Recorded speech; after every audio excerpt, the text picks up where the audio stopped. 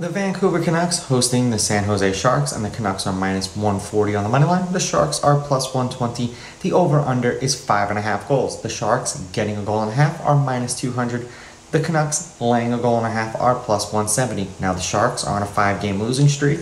They are three and seven in their past 10 games, and in those games where they were an underdog, and could not lose the game by two, getting a goal and a half. They are three and four, and you can see the scores of their last five games beneath me. They've been getting buzzsawed by playoff teams. Now Vancouver is on a two-game winning streak. They are four and six in their past ten games, and in those games where they were a favorite and had to win the game by two, minus a goal and a half, they are one and three. Now head to head, Vancouver is on a four-game winning streak against San Jose.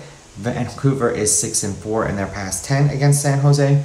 The favorite is seven and three. The over five and a half is a perfect three and zero in their last three games. Two out of the past three games have been decided by two goals or more.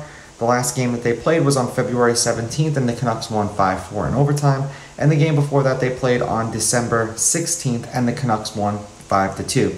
I have more faith in the Canucks, even though when I pick them laying goals, they end up screwing me.